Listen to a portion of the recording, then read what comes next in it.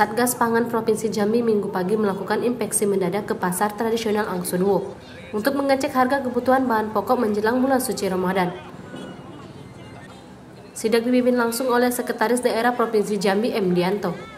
Saat berdialog dengan tim Satgas Pangan, sejumlah pedagang menyampaikan keluhan terkait masih tingginya harga daging ayam, di mana harga daging ayam masih di kisaran 50.000 per kilogram.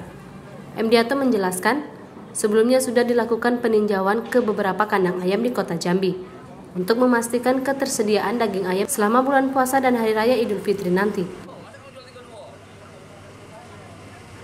Salah satu pasar terbesar di Provinsi Jambi ini, Pasar Rangsuruo.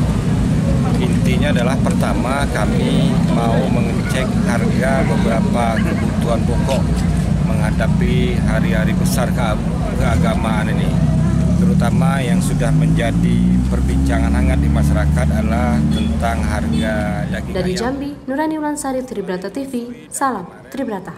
Tim bersama juga dari...